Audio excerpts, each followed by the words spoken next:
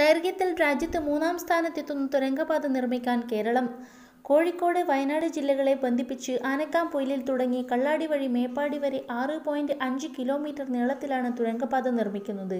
അറുന്നൂറ് കോടി രൂപ ചെലവ് പ്രതീക്ഷിക്കുന്ന തുരങ്കപാതയുടെ രൂപരേഖ തയ്യാറാക്കാൻ കൊങ്കൺ റെയിൽ കോർപ്പറേഷനെ നിയമിച്ചു സർക്കാർ ഉത്തരവിറക്കി. നിലവിലുള്ള താമരശ്ശേരി ചുരത്തിന് ബദൽ മാർഗമായാണ് തുരങ്കപാത നിർമ്മിക്കുന്നത്. മണ്ണിടിഞ്ഞും മറ്റും ചുരത്തിൽ മണിക്കൂറുകളോളം ഗതാഗതം സ്തംഭിക്കുന്നത് പതിവാണ്.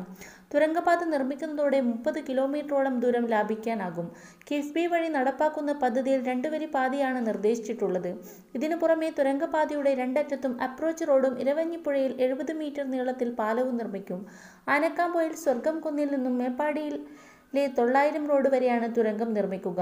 തുരങ്കപാതയുടെ സാധ്യതാ പഠനം രണ്ടായിരത്തി പതിനാലിലാണ് നടത്തിയത്. രണ്ടായിരത്തി പതിനാറിൽ സർക്കാർ അനുമതി നൽകി. റോഡ് ഫണ്ട് ബോർഡിനെയാണ് നിയമിച്ചത്.